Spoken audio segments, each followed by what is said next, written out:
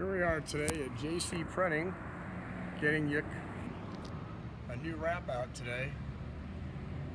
Nice black matte blue. Look at that. Beautiful car. That was black coming in and a matte blue going out. Uh, that's done by the Wrap Kitty out of Phoenix, Arizona, one of our employees. Did a great job. Noticing the fine detail. So that was a gloss black car coming in as a matte. What a great job she's done for us today.